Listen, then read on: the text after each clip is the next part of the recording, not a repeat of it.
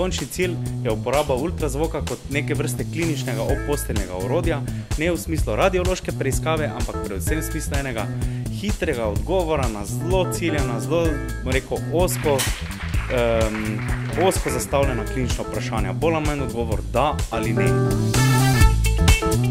Všeč mi je bilo, da smo imeli koncept, da se prej sami pripravimo in potem dejansko izkusimo naše znanje in kako kvalitetno smo se dejansko um, pogledali stvari. Uh, če kaj ni bilo jasnega, so nam potem predavatelji povedali, tako da je bilo ful super izpeljano.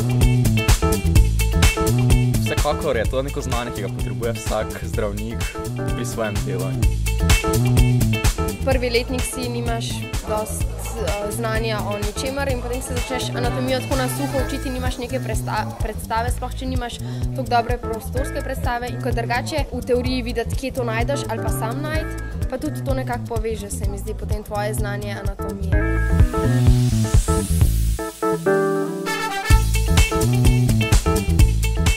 Predavanja so bila, pa smejali so se. Bilo je kratko, jedrnato, Nato pa ma- seksi. Kje je bil Tako si seks? rekel, da mora biti. A, no, pri meni ni bilo seksa.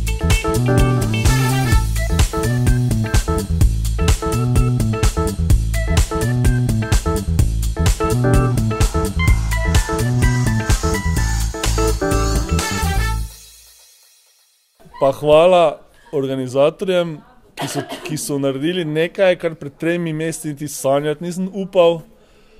Zdaj pa vem, da je realnost, uh, tako da samo da jih dobim v svoje kremple, ne, spremenimo svet.